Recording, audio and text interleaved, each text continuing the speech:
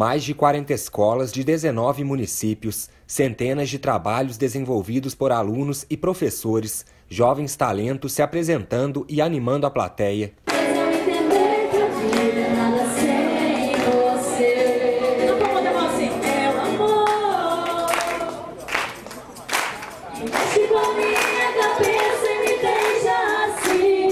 A primeira mostra Projetos e Trajetos Escolares aconteceu na sede da Superintendência de Ensino de São João del Rei e é resultado do trabalho feito nas escolas dos 19 municípios durante todo o ano. Nós estamos dando visibilidade para tudo que aconteceu na escola durante o ano, né?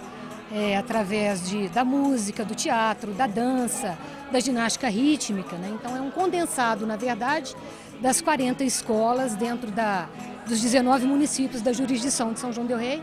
E nós estamos trazendo aí 420 alunos com as suas direções, né, e os diretores sendo homenageados também pelo trabalho que vem sendo feito. É, dentro da educação integral, dentro da inclusão, dentro da participação e da gestão democrática. Diversas linguagens da educação cidadã. A diversidade é o tema da mostra, algo presente nas escolas, a arte em suas diferentes formas de manifestação. Nós temos diversas linguagens cidadã, é trazer para a nossa mostra o trabalho das escolas que trabalham com a diversidade e na formação cidadã integral do sujeito. Né? Então, o que a gente busca com a educação é que o sujeito seja formado integralmente, né? que ele seja um cidadão, a formação para a cidadania.